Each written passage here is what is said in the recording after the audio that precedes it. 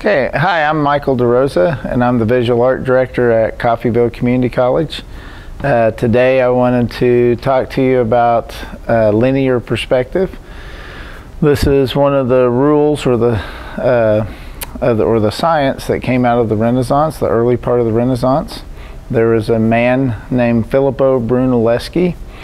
Uh, he was an architect, he was a sculptor, he was an engineer, and uh, He's really his real passion was to be a sculptor. He entered some competitions, basically just kind of summarizing his life experiences. Entered some competitions for sculpture, uh, got beat out by some better sculptors in the competitions, and so then he turned to architecture.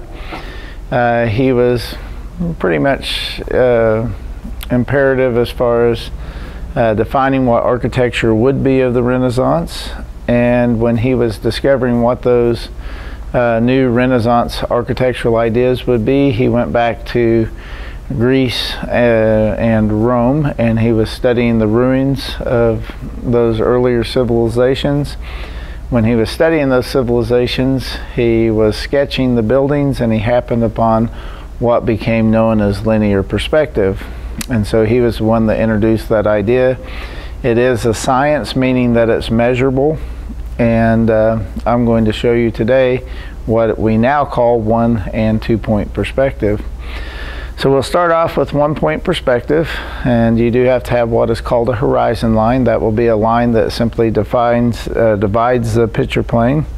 And so I'll be working on this paper here and I'll just hold it up so you can see that it's just plain paper.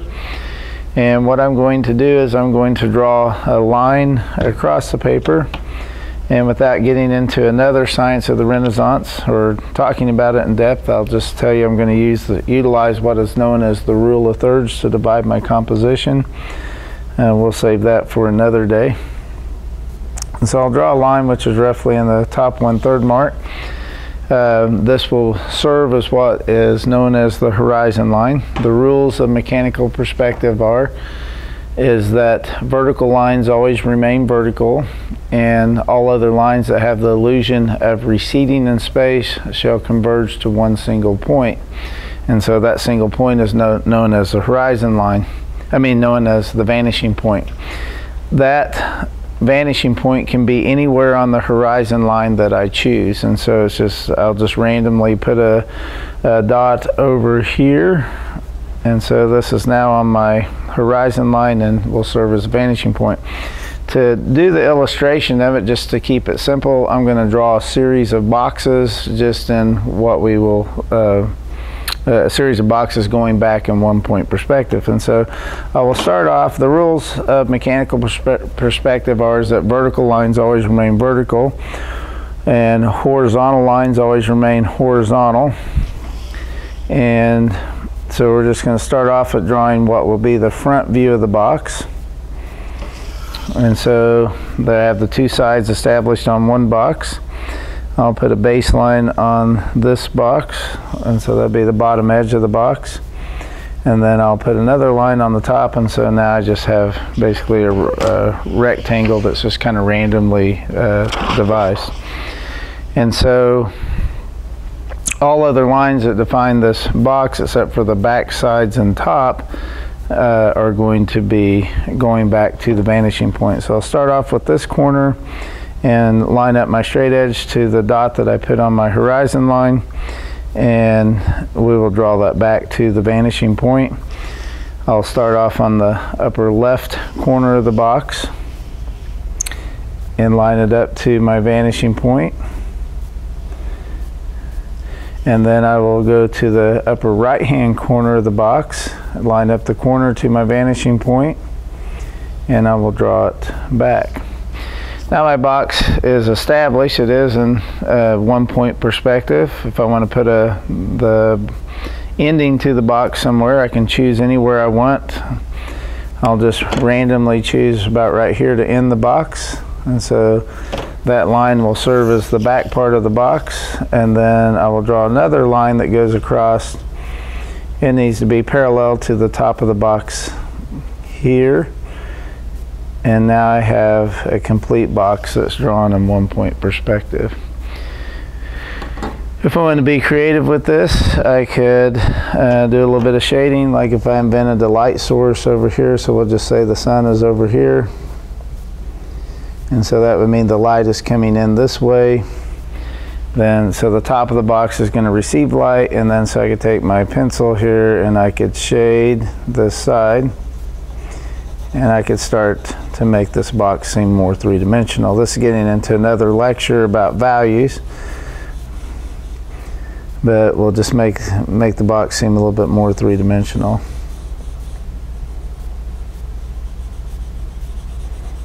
And so I'm inventing a light source. I'm not really looking in direct observation at something, which is the best way to draw. But if you want to invent space and invent the illusion, uh, you can do it this way.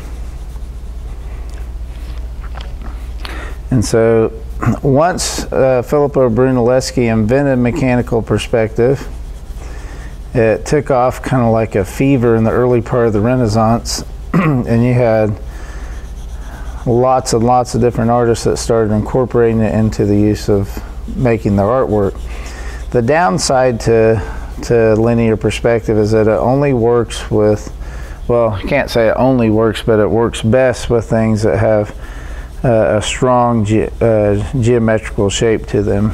And so it's hard to do things like ellipses or circles or organic things like if you're trying to draw a tree or a person, it's really hard to draw a person in one point perspective.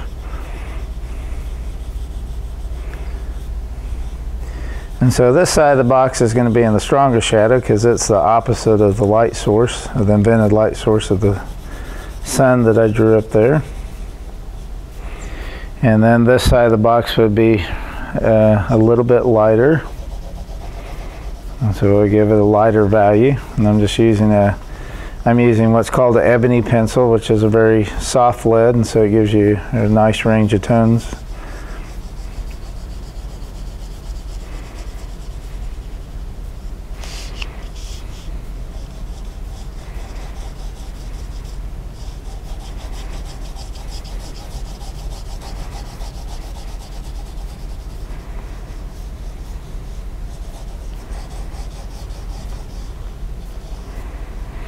And then everything gets a cast shadow, so I'll give my box a cast shadow.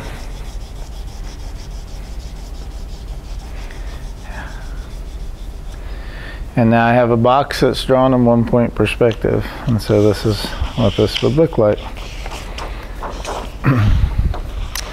and so if you want to be creative with this, you could draw a series of boxes and you could put windows in them, put more boxes inside the box and rectangles and you could have this turn this box into a building or whatever you want to be creative with. Uh, there's another aspect to mechanical perspective which is called two-point perspective.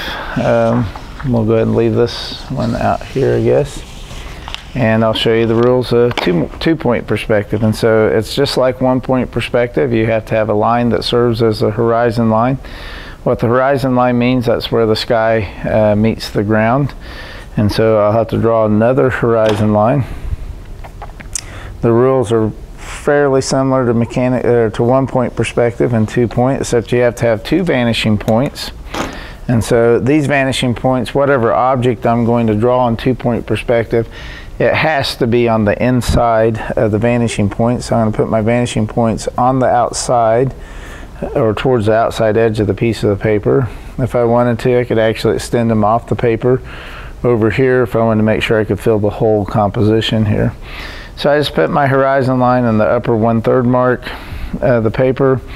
The rules of two-point perspective are that vertical lines always remain vertical. All other lines have the illusion of, of receding to one or two of the vanishing points. And so to draw the same type of box, I'll start off with what would be the corner of the box here. And so it'll be that corner. And so it's just, I'm just gonna make a vertical line. And then I have to establish somewhere where the box is going to end, or the height of the box and the bottom edge of the box. And all other lines are going to be converging to one or two of the vanishing points. And so this side of the box will go back to the vanishing point on my right. And then I already have the top of the box established, so I'll start with the top of the box and go to the vanishing point again on my right.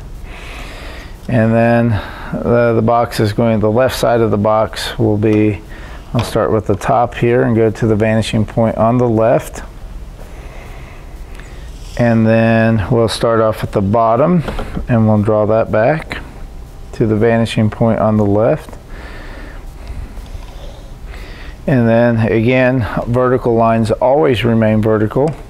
So just kind of eyeballing my first box I drew in one point perspective. I will say this box is going to end about right here. So it's just an intuitive guess. Where the top is, uh, corner is established on the left hand side of the box, that will establish the top of the box. And so it, that line being it's not a vertical has to go to one or two vanishing points. So it will go back to the vanishing point all the way on the right. And then I have to guesstimate where this side of the box will be. In my box I drew in one point perspective the front of the box is now shifted over here so it's kind of shifted about 60 degrees or 30 degrees and I'm going to say that this side ends here so I just made a vertical line now the top of my box is established here and it will go back to that vanishing point.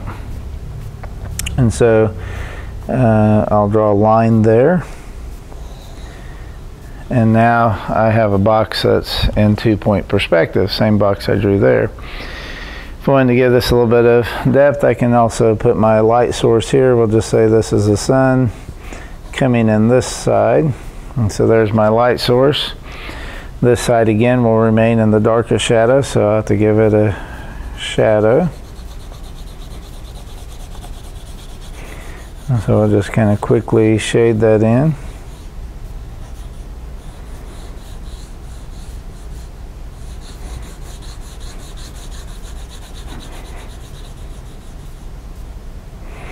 And the same thing goes with a two-point perspective. It works really well with geometric shapes that have predictable edges. If it's organic in nature where they're irregular shapes like trees and things of that nature, again it's, it's uh, fairly difficult to draw a tree in mechanical perspective or linear perspective.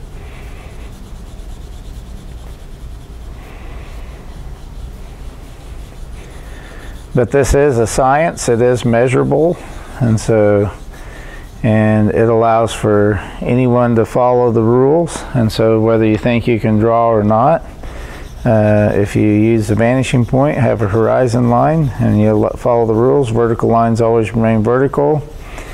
And if it's one point perspective all lines that have the illusion of receding in space shall converge to that one single point. Again that point's called the vanishing point it has to work. It's not whether it can work or it might work, it has to work. And so anybody can learn to do this. And you're guaranteed success. This side will have a little bit less shadow because some of this light should be hitting this side.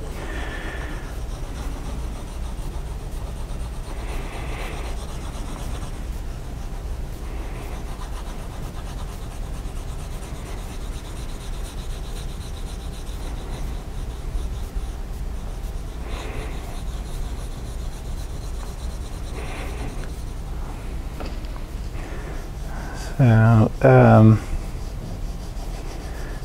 we'll give this, as it goes into this corner, just a little bit darker value. And that's probably the way the light would really be. This side catching more light, so it'd be a little bit lighter.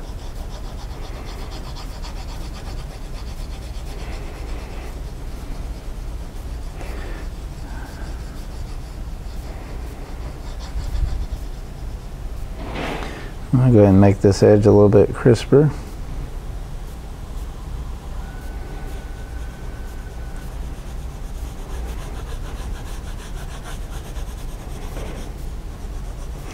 And then everything gets a cast shadow. And so I'll go ahead and give a cast shadow to our box.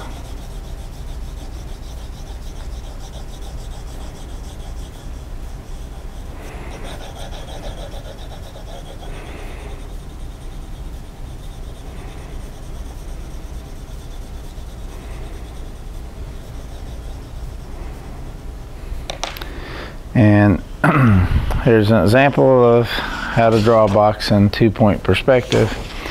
And so again, just like in one-point perspective, I could put some more rectangles in there. I could invent what would be a doorway, and I could easily turn this box into a building or whatever it is I wanted to. All right, thank you, and uh, I appreciate your time.